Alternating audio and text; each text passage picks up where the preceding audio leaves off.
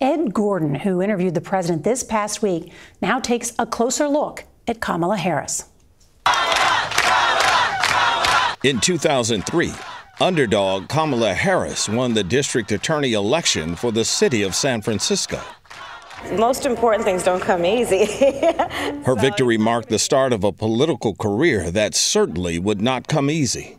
Kamala Devi Harris was born in 1964 in Oakland, California. Her mother, Shyamala Gopalan, was from India, and her father, Donald Harris, from Jamaica. I was raised by a mother who said um, many things that were life lessons for me, including don't you ever let anybody tell you who you are. You tell them who you are. She grew up in Berkeley, California, where her parents were both academics and activists who participated and raised their children within the civil rights movement. Harris graduated from Howard University in 1986. I chaired the Economic Society. I was on the Howard debate team. She then graduated from law school from the University of California, Hastings in 1989, and public service was her calling. If you want to pass Proposition K, you're going to have the exact opposite effect. After serving seven years as the district attorney of San Francisco, in 2010, she was elected Attorney General for the state of California. She broke barriers as the first black and South Asian woman to hold the position, which she did for six years before she stepped into national politics. Attorney General Kamala Harris just made it official. She is running for U.S. Senate. We know this is the first open Senate seat we've had in almost a quarter of a century.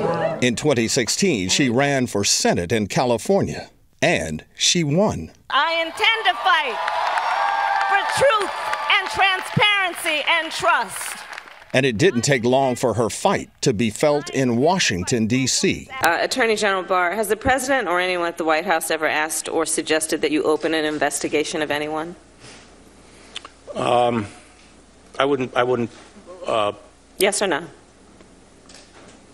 Could you, could you repeat that? With her insistent inquiries and commitment to progressive policies, presidential buzz was quickly building around her, and she made it official in 2019. I stand before you today to announce my candidacy for President of the United States. Her announcement rally in Oakland drew nearly 20,000 people, and her campaign quickly gained momentum. And those folks don't want a wall, they want a paycheck. So let's be clear about what should be the priorities of this administration. Get Harris's most notable moment came during a primary debate with Joe Biden over his opposition to federally mandated busing.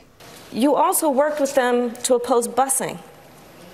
And, you know, there was a little girl in California who was part of the second class to integrate her public schools. And she was bused to school every day. And that little girl was me. But her campaign soon began to stall. Her record as a prosecutor in California at times was at odds with the direction of the party. And before long, the momentum she had was gone. It is with deep regret, but also with deep gratitude, that I am suspending our campaign today. However, she would soon be on a new campaign. I have no doubt that I picked the right person to join me as the next Vice President of the United States of America, and that's Senator Kamala Harris.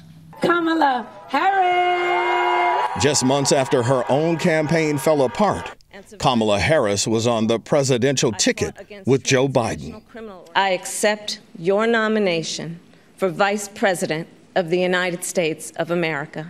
And in November of 2020, Joe Biden was elected the 46th president. We did it. We did it, Joe. You're going to be the next president of the United States. With Kamala Harris making American history as the first female black and South Asian vice president.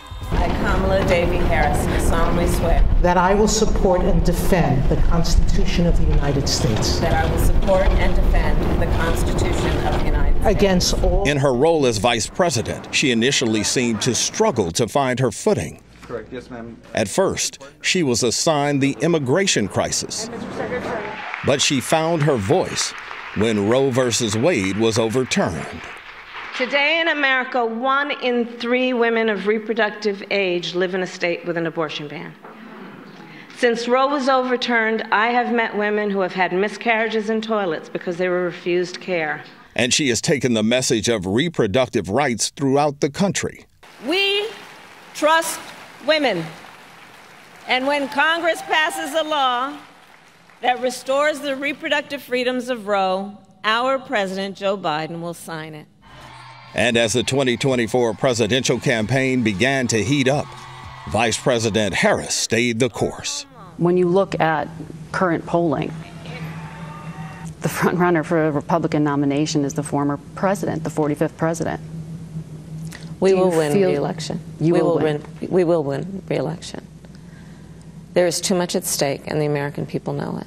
Even after President Biden's debate performance against former President Donald Trump, she stood by him. Look, Joe Biden is our nominee.